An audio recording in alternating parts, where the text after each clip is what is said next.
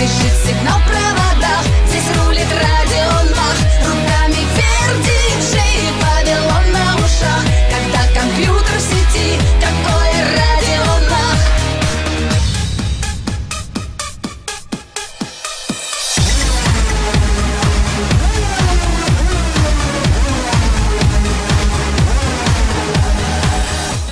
Это действительно мой автограф, и я действительно Светлана Разина, Хотя, конечно, эта тетенька посимпатичнее, но просто потому, что она в оранжевом.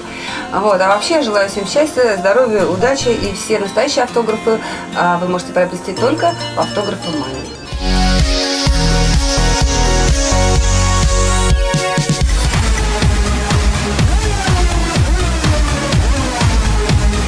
карьера, она идет сама по себе. Мы не можем э, планировать свою карьеру.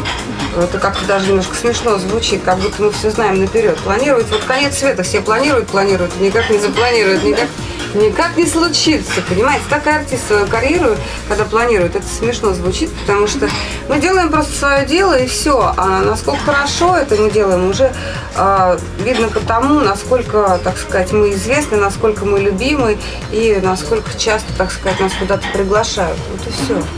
Поэтому э, я ничего не планировала, я просто как занималась, я до «Миража» занималась, ну, в смысле, последнего возвращения в «Мираж», занималась сольной карьерой. И, в общем-то, там немножко нехорошо получилось изначально, потому что, когда я пришла в коллектив, а, вернулась, так скажем, да, у меня в этот момент вышел новый сольный альбом. И очень было не совсем, ну, по канонам шоу-бизнеса, и да и, наверное, по любым другим, это не совсем этично получилось, потому что возникла такая дурацкая ситуация. То есть получилось, что я пришла с, со своим новым альбомом, влилась в чужой коллектив.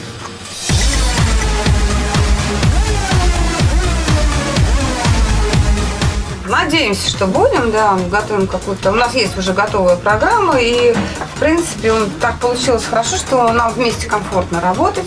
Мы, так как мы две сольные певицы в каждом отдельном проекте, мы уже вместе не стоим на сцене. Нет, стоим, там несколько песен, но так как все-таки мы позиционируемся как э, сольно, то уже такой прям жесткой конкуренции на сцене, естественно, не возникает, как это было в рамках «Миража».